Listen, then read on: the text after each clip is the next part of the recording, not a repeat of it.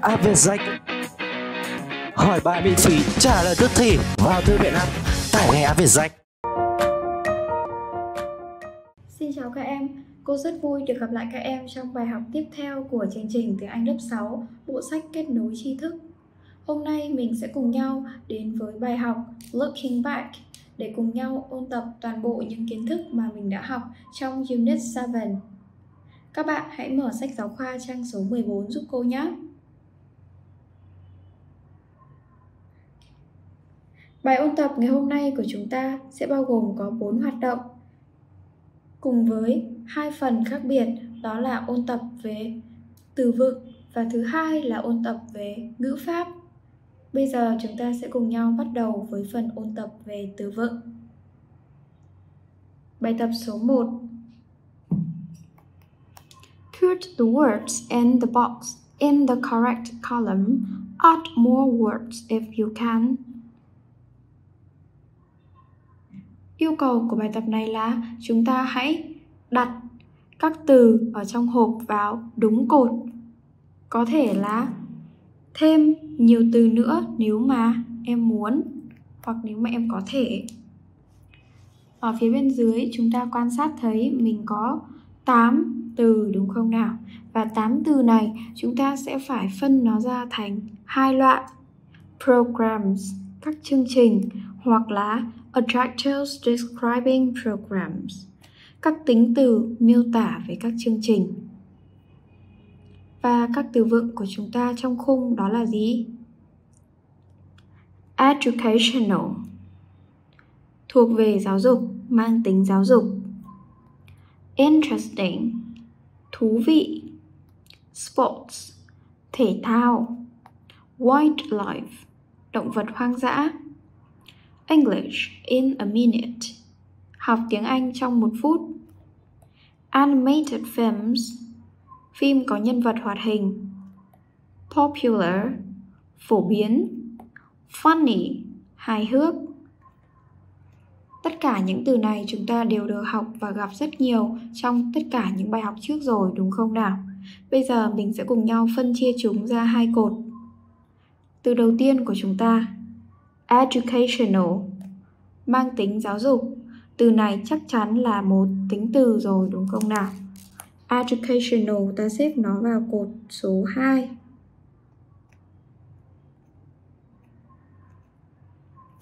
mang tính giáo dục. Tiếp theo, interesting. Từ này thì mình đã vô cùng quen thuộc. Nó là một tính từ, có nghĩa là thú vị ta cũng xếp nó vào cột số 2. Từ tiếp theo, sports, thể thao. Đây là một chương trình đúng không nào? Sports. Number 4, wildlife, động vật hoang dã. Đương nhiên đây cũng là chương trình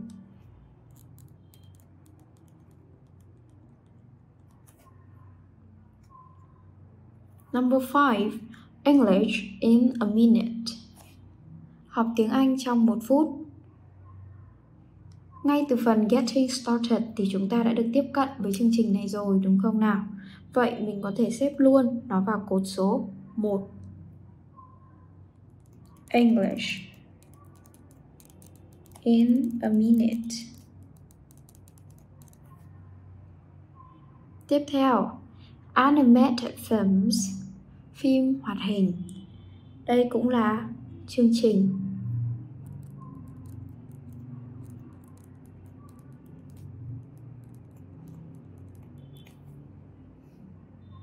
Tiếp theo, popular, phổ biến. Đây là một tính từ. Cuối cùng là funny, hài hước, vui nhộn từ này cũng là tính từ Vậy là chúng ta đã hoàn thành xong phần phân chia 8 từ vựng trong hộp vào hai cột của bảng. Tiếp theo thì mình sẽ cùng nhau bổ sung thêm một số những từ vựng nữa có liên quan tới chương trình hay là tính từ mô tả chương trình nhé. Chẳng hạn như là về chương trình các bạn đã gặp một số những chương trình khác, ví dụ như là chương trình khoa học science?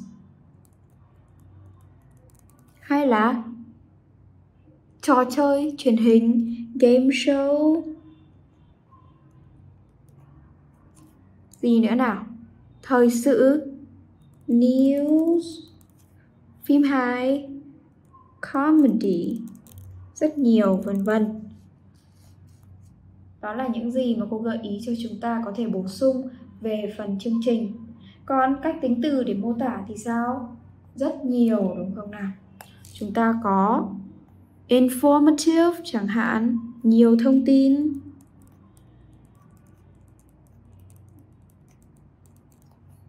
Hay là boring, nhàm chán. Moving, cảm động, vân vân. Rất là nhiều. Các tính từ chúng ta có thể sử dụng nếu như các bạn có thể bổ sung thêm được từ nào vào trong danh sách này thì hãy bổ sung giúp cô nhé. Chúng ta kết thúc hoạt động số 1 tại đây và cùng nhau đến với hoạt động số 2.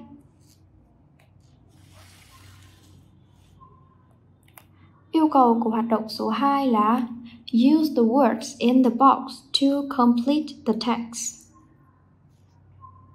Hãy sử dụng các từ trong khung để hoàn thành văn bản. Bây giờ chúng ta sẽ cùng nhau dựa vào các từ ở trong khung để hoàn thành một đoạn văn ngắn nói về cái kênh VTV1 và năm từ vựng ở trong khung của chúng ta là gì? Viewers, khán giả. Funny, vui nhộn, hài hước. Educational, mang tính giáo dục. Sports, thể thao. Animal, động vật và bên dưới này chính là đoạn văn mà ta cần hoàn thành. Bây giờ hãy cùng cô đi hoàn thành đoạn văn nhé. VTV1 is a popular TV channel in Vietnam. VTV1 là kênh truyền hình nổi tiếng tại Việt Nam. It attracts many dot dot dot because it has interesting programs. Nó thu hút rất nhiều cái gì bởi vì nó có rất nhiều chương trình thú vị. Trong ô số 1 này, chúng ta cần một danh từ đếm được số nhiều bởi vì nó đứng đằng sau many. Vậy trong số các từ ở trong khung, chúng ta sẽ lựa chọn được từ viewers cho ô trống số 1. Nó thu hút rất nhiều khán giả bởi vì nó có nhiều chương trình thú vị The dot dot dot programs show tigers and giraffes in nature. Cái chương trình gì thì nó chiếu hổ và hươu cao cổ trong tự nhiên.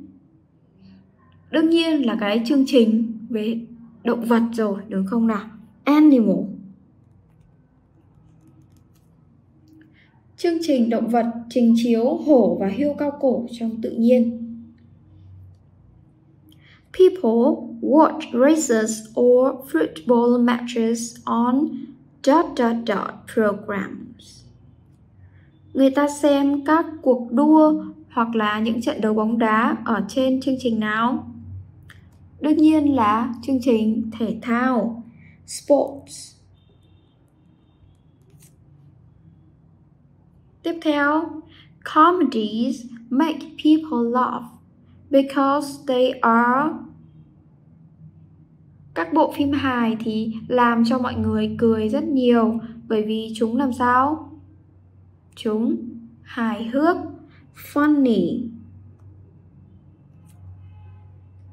Và cuối cùng, game shows are both fun and educational. Từ còn thiếu, từ còn lại của chúng ta, đúng không nào? Các chương trình, trò chơi truyền hình thì vừa thú vị mà vừa mang tính giáo dục. Vậy là chúng ta đã hoàn thành xong cái đoạn văn về kênh VTV1. Hoạt động này thì cũng kết thúc phần ôn tập về từ vựng của chúng ta rồi. Bây giờ mình sẽ cùng nhau chuyển sang phần ôn tập về ngữ pháp nhé.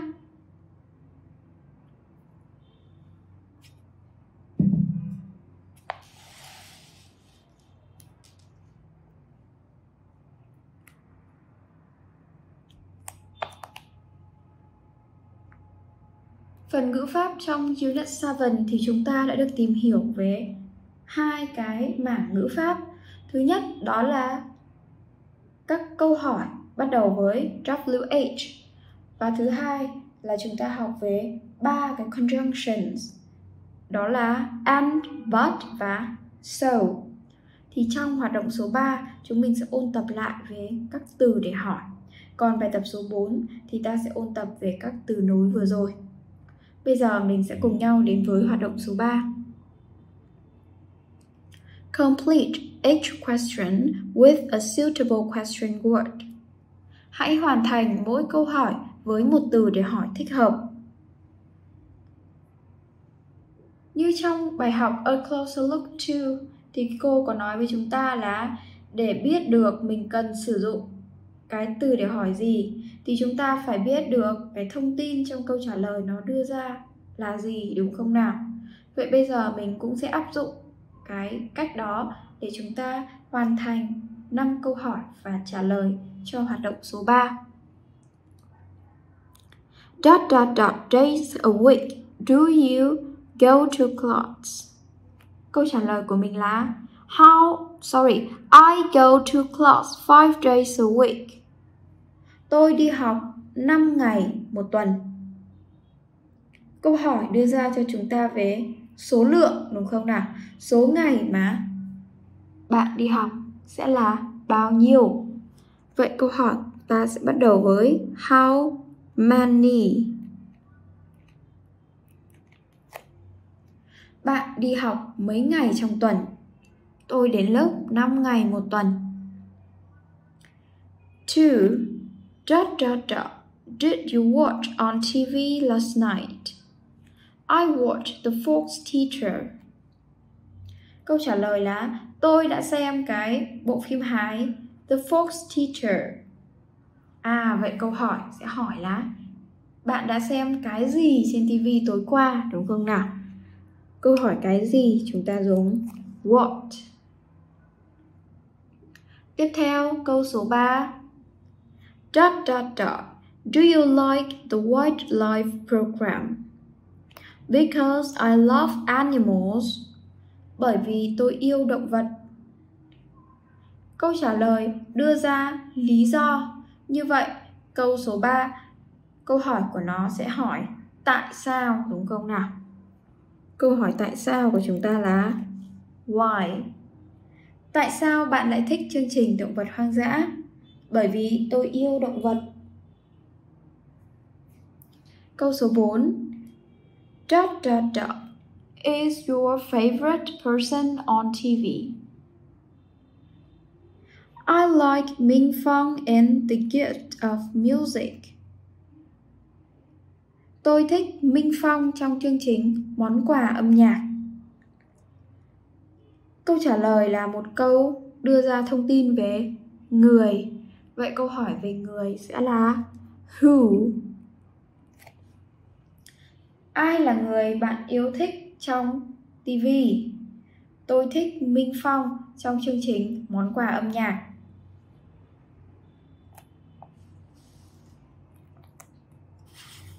Number 5. Dot dot dot hours a day do you watch TV? About half an hour a day, I watch more at weekend. Khoảng 1 giờ một ngày, tôi xem nhiều hơn vào cuối tuần. Lại tiếp tục là một câu trả lời về số lượng đúng không nào? Vậy ta sẽ sử dụng how many.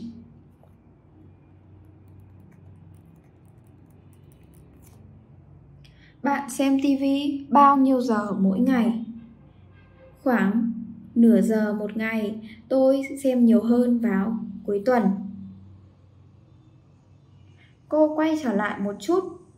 Bài cũ của chúng ta là tại sao câu hỏi về số lượng nhưng câu 1 và câu 5 của chúng ta mình lại dùng how many chứ mình không dùng how much. Các bạn có nghĩ ra không? Cái lý do ở đây là gì? Là many nó đi được với danh từ đếm được số nhiều, còn much thì nó đi với danh từ không đếm được. Cho nên là trong câu số 1 và câu số 5 thì days và hours đều là danh từ đếm được số nhiều nên ta mới dùng how many chứ không dùng how much. Được chưa nào? Chứ không phải là cứ hỏi về số lượng là chúng ta hỏi how many đâu nhá. How many và how much đều được dùng để hỏi về số lượng và việc dùng many hay much, nó phụ thuộc vào cái danh từ.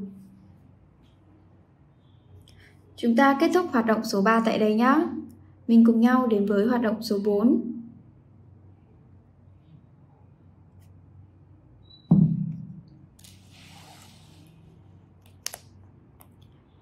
Use the conjunctions provided to connect the sentences. Sử dụng các từ nối được cho để liên kết các câu. Cô nhắc lại cho chúng ta về nghĩa và về cách sử dụng của ba conjunctions mà mình đã học. Đó là and, but và so. Đầu tiên, dễ nhất đó là and. And có nghĩa là và và nó kết nối hai vế bình đẳng. So thì mang nghĩa là vì thế, vì vậy. Nó kết nối hai vế mang quan hệ nguyên nhân kết quả. Còn but thì mang nghĩa là nhưng. Ngay khi nghe nghĩa thôi thì chúng ta cũng nhận ra là nó dùng để kết nối hai nghĩa tương phản trái ngược nhau. Bây giờ chúng ta sẽ cùng nhau đi liên kết các câu này nhé. One, Ocean Life is on at 7.30. Laughing out loud comes next at 8. Ocean Life phát sóng lúc 7 giờ 30. Laughing out loud tiếp theo vào lúc 8 giờ. Vậy chúng ta đơn giản là mình đặt and ở giữa hai câu này là xong. Vậy câu của chúng ta sẽ là gì?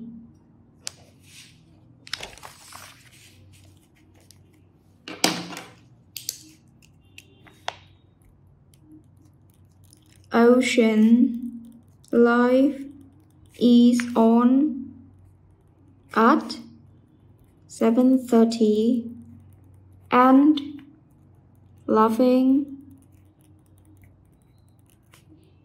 out loud comes next at 8 Okay Câu số 2 I like the Seven Kitties very much. I watch it every day. Tôi rất thích The Seven Kitties. Tôi xem nó mỗi ngày. Vậy câu của chúng ta khi dùng so nó sẽ có nghĩa là gì? Tôi rất thích The Seven Kitties, vì vậy tôi xem nó mỗi ngày.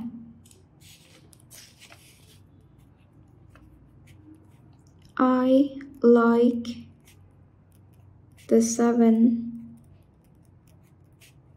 kitties very much.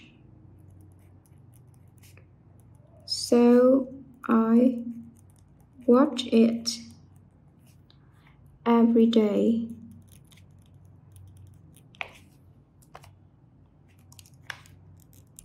Number three. Câu số 3 nào. BBC One is a British channel. VTV6 is a Vietnamese channel. BBC One là một kênh của Anh. VTV6 là một kênh của Việt Nam.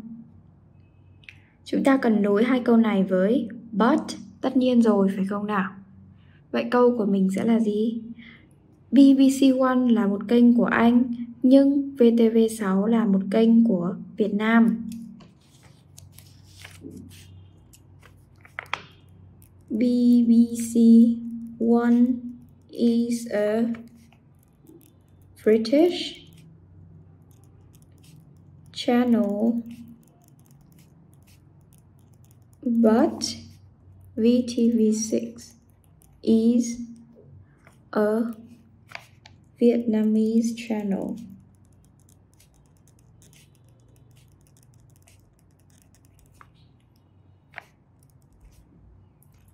Câu số 4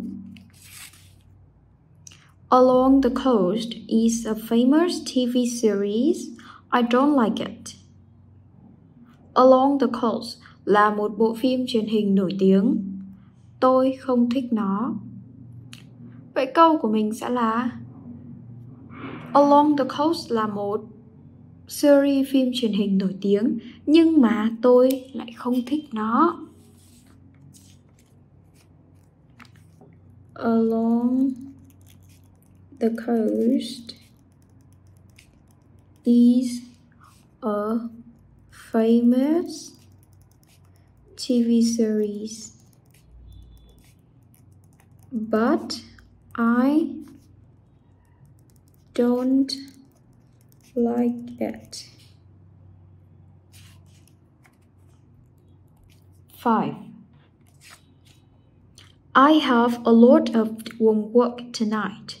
I can watch eight feet below. Tôi có rất nhiều bài tập về nhà tối nay. Tôi không thể xem eight feet below. Câu này chúng ta sẽ kết nối bằng từ so. Vậy câu của mình sẽ là gì? Tôi có nhiều bài tập về nhà vào tối nay, vì vậy tôi không thể xem 8 feet below. I have a lot of homework tonight. So I can't watch. Eight feet below. Đây chính là đáp án cho 5 câu của chúng ta trong hoạt động số 4. Nếu như bạn nào mà đã làm từ trước rồi, đã hoàn thành các câu này từ trước rồi, thì các bạn hãy soát lại xem là chúng mình đã viết chính xác hết chưa. Và sau khi mà hoàn thành rồi thì cô muốn lưu ý cho chúng ta một chút đó là đối với từ bot này là một từ khá đặc biệt đằng trước nó chúng ta luôn luôn phải có dấu phẩy nhá nếu như mình không có dấu phẩy ở trước từ bot, thì coi như là câu đó chúng ta bị tính là sai ngữ pháp đấy nhá lưu ý cho cô, bạn nào cảm thấy là mình đã bỏ quên dấu phẩy rồi, thì hãy thêm vào giúp cô Bài học ngày hôm nay của chúng ta đến đây là kết thúc rồi. Cô rất cảm ơn sự chú ý và quan tâm của các em đối với bài học. Hẹn gặp lại các em trong bài học tiếp theo. Khóa học về rách Sự lựa chọn của hàng triệu phụ huynh và học sinh Trải nghiệm ngay khóa học của Vietjet